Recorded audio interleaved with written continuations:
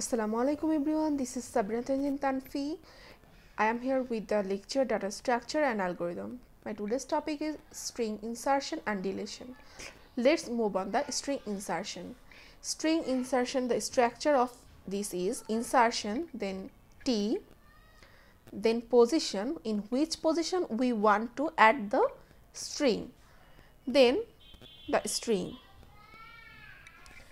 Here T is I am a and the insertion position is T 3 A. We can um, clear that uh, T is the given string that have already given um, and the string that will be added. So, the addition will be T I this is position number 1 2 and 3 in number 3 there will be add a. This is the final string. Another example is T equals to A, B, B, D, D. Insertion will be T 4 C C. So, T equals to 1, 2, 3, 4 in that position we will add A, B, B, C, C. Then D, D. Another is insert insertion. CUT for E.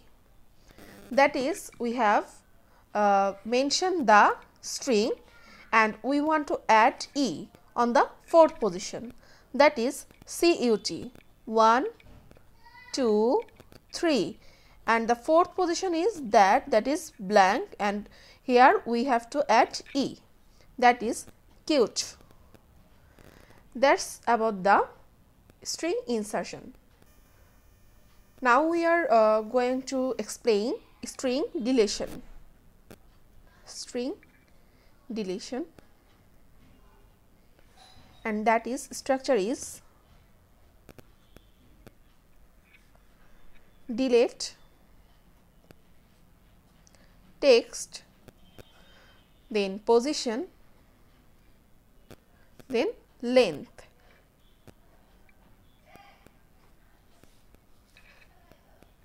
Delete. A b b c d. This is the text then position. Which position you want to delete? Number 2 and what will be the length? Length is 3 then text will be 2 from here we have to delete 3 1 2 3 we have to delete this one. That means AD will be the final text. Another example is uh, text will be.